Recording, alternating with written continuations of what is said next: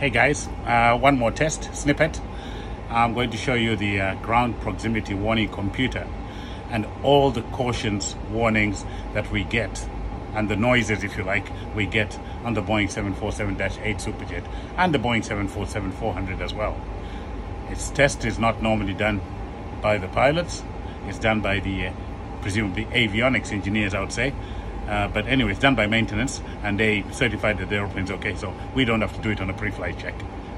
Okay, so I'll do that test now and see if you can count how many warnings this aeroplane would give you for the various situations we could ever get into. Let's go now. So go here, menu, CMC. It's called the confidence test, confidence test. Try it again. Right, it's gone in. GPWC ground proximity warning computer system basically. There you go, in progress. Glide slope. Pull up. Wind shear, wind shear, wind shear.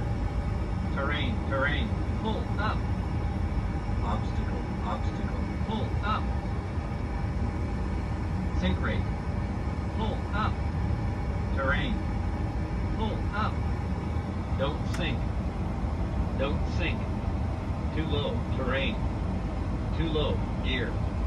Too low. Flaps. Too low. Terrain. Glide slope.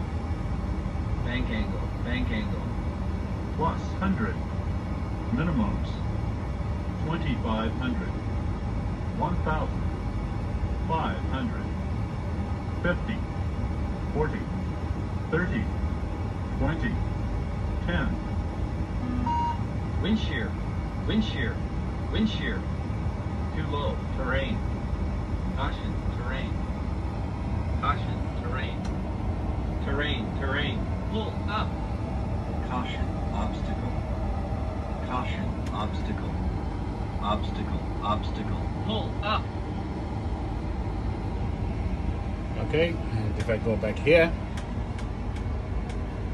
it tells me that particular test was a pass. And it says on terrain, so I can switch the terrain off now because it leaves it on after the test. So I'll switch that off, first officer side as well. So that is all the warnings we get on the Boeing 747-8. Can you count them? How many were they? Later.